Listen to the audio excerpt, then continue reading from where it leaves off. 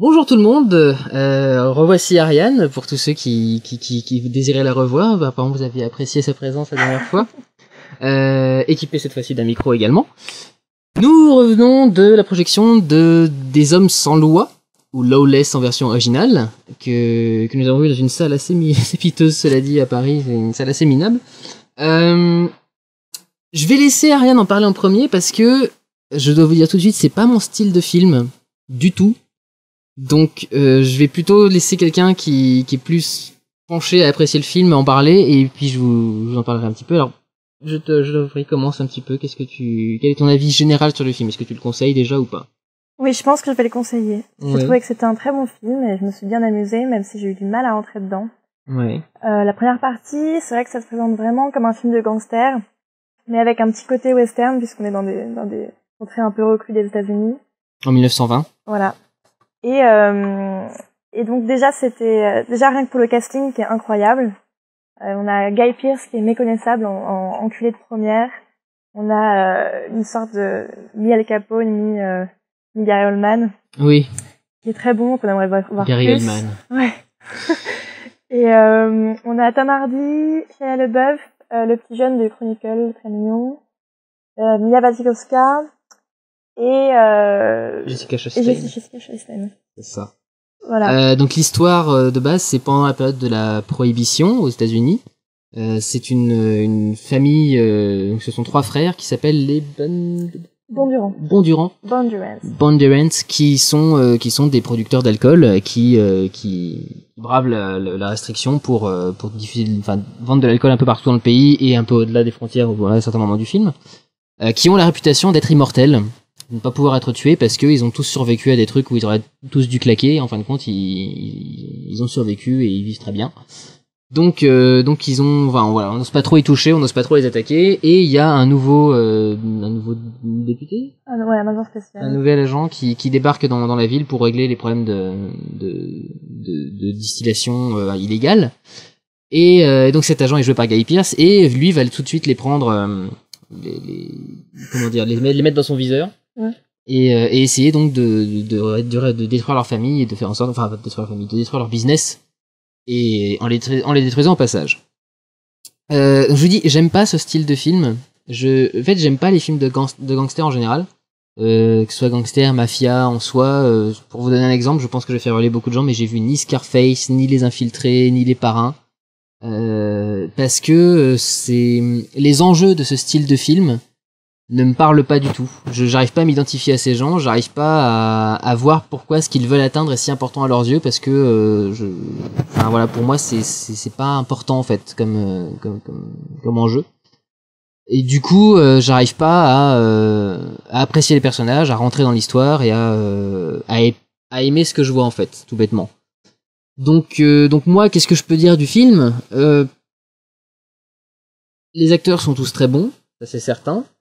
L'histoire est basée sur une histoire vraie, il y a ça d'intéressant. La prohibition, c'est quand même quelque chose qui me fascine.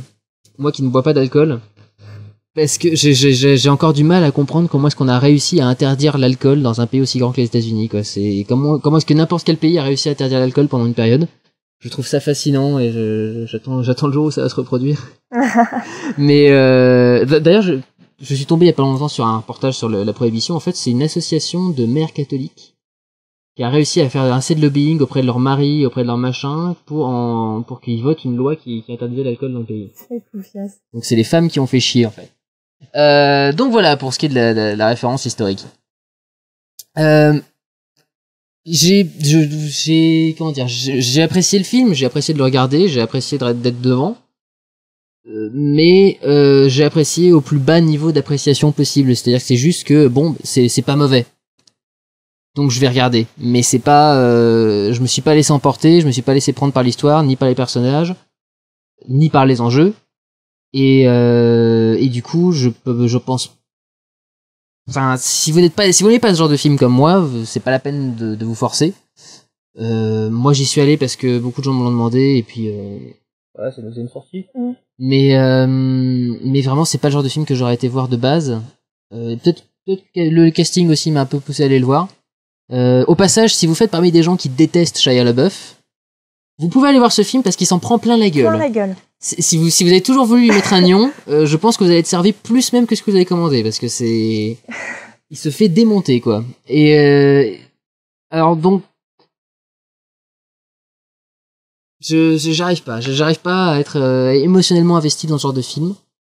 Donc, je, je, je vais pas vous dire que je vous le conseille ou je vous le conseille pas, je suis pas bien placé pour le juger. Par contre, moi, enfin moi je le conseille, mais il y a un point où on diffère, c'est que moi j'ai trouvé ça pas très bien réalisé.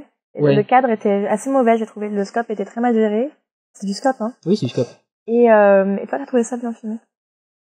Moi, j'ai trouvé ça plutôt bien filmé. Il y avait des, des, des jeux de, de reflets, de surcadrage qui, peut, qui étaient intéressants à certains moments. Je sais pas si t'avais vu, mais il y a un moment où t'as, bah, le moment où Gary Oldman arrive. Mm.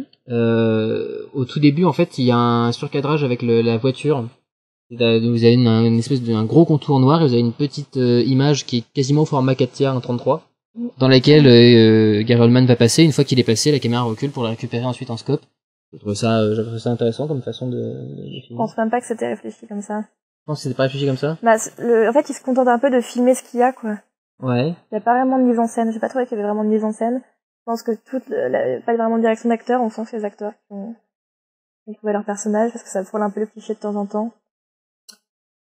Ah, pour moi, ça fait partie des codes du film de gangster qui font justement que j'ai du mal avec ce genre de film. C'est, euh, il faut forcément qu'ils aient, euh, qu'ils aient un accent à couper au couteau, qu'ils aient une façon de, de parler euh, bizarre, qu'ils aient, enfin. Qui un gros dur, un petit jeune. Un gros dur, un petit jeune, un qui est alcoolisé, qui fout que dalle, enfin qui, qui fait que des conneries, enfin. C'est justement ces films pour moi ont des codes trop basiques et j'ai du mal à, à rentrer dedans. Euh...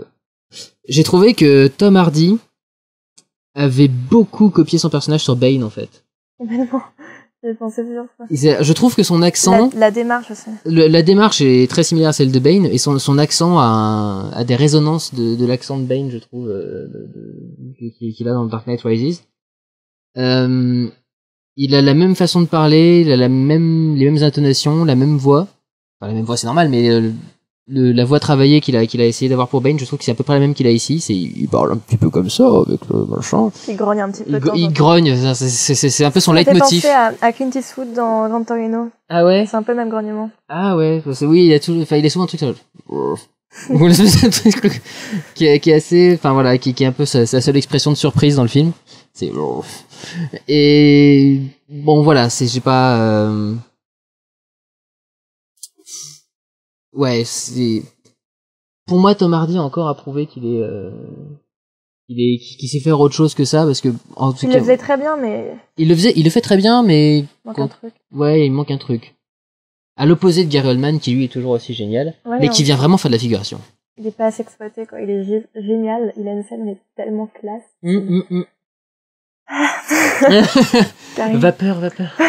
euh, mais ouais non, Gary Oldman est vraiment j'ai l'impression qu'il est vraiment là pour faire de la figuration, qu'il est là pour être au générique, enfin, pour qu'ils l'ont appelé pour qu'il soit là au générique en fait. Et ça marche. Bah ça marche, mais euh, il y avait, il y avait moyen de faire mieux avec un acteur comme ça. Enfin, il y avait moyen de l'exploiter un peu plus. Son personnage sert à à prouver la valeur de Shia LaBeouf. Mm.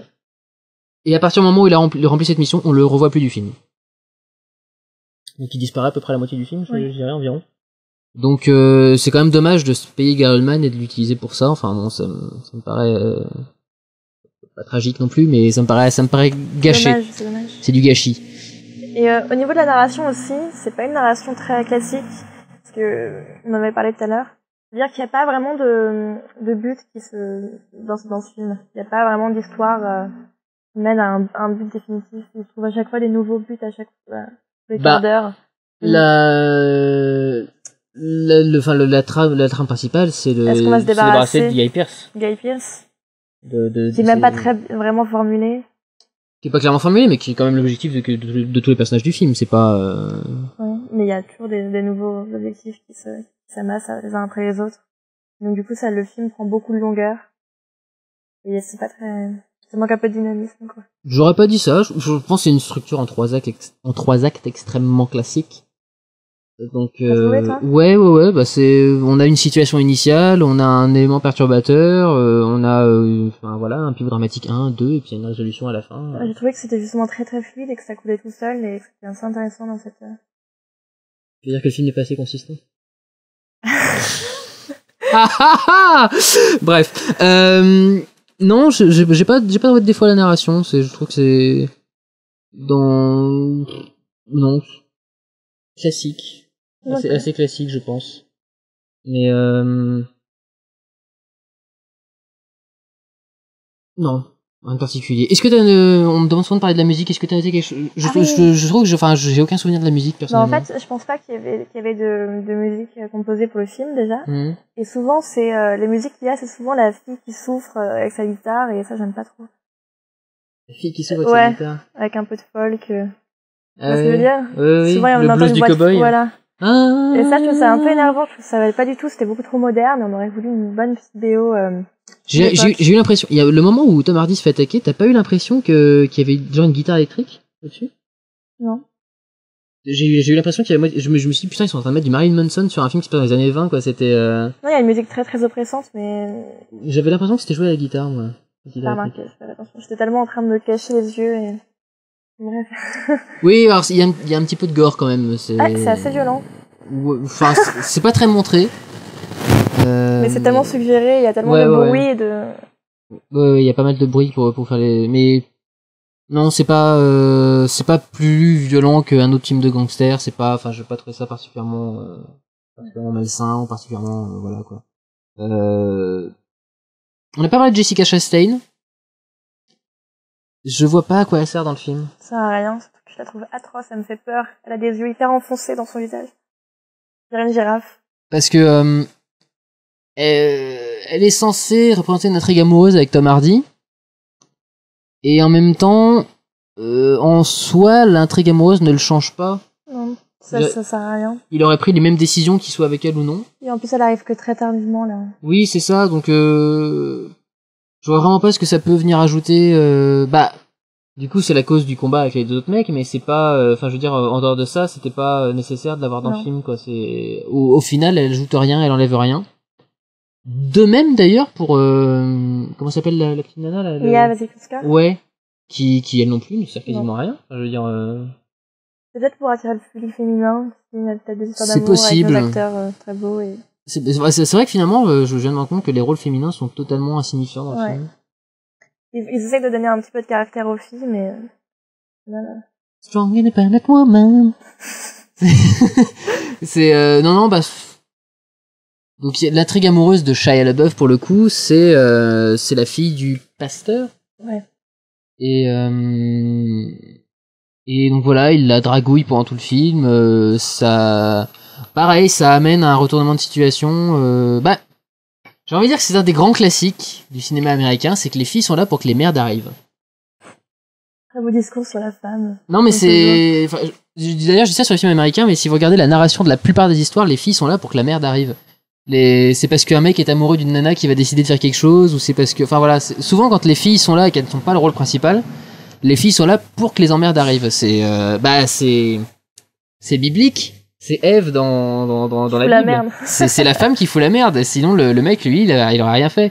Donc c'est ils reprennent toujours un peu cette, euh, cette, cette idée-là et je, au fait finalement c'est ça, ces deux nanas-là sont là pour que euh, cette emmerde-là arrive, arrive à cet endroit-là et que cette emmerde-là arrive à cet endroit-là. Ouais.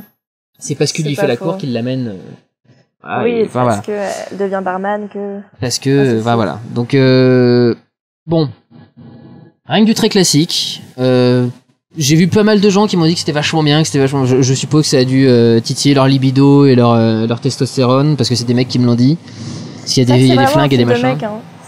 Je pense que c'est. Bah, euh, de toute façon, les films de gangsters ont un peu cette connotation-là. C'est quand même Ouais. plutôt des films de mecs. Et j'ai pas vu beaucoup de films de gangsters avec des nanas. À part Mafiosa en série sur Canal et franchement, ça vaut pas grand-chose. Ouais. Donc, euh, non, enfin, c'est vraiment. euh, pour moi, c'est c'est un peu la définition du film de gangsters. Donc, si vous aimez bien ce genre de film, ça devrait vous plaire. Normalement, tous les aimants sont là pour que ça vous plaise. Euh, Ça si- change un peu de pas être dans les grandes villes, genre Chicago ou, New York pendant la prohibition. Ouais. Là, on est un peu reculé, donc ça donne une nouvelle per- perspective. Oui, voilà, c'est mal. pas, euh, c'est pas les grands, euh, les grands criminels classiques de cette époque-là. C'est euh, des, des petits petit- morveux voilà. qui, qui se la jouent en crime. C'est ça.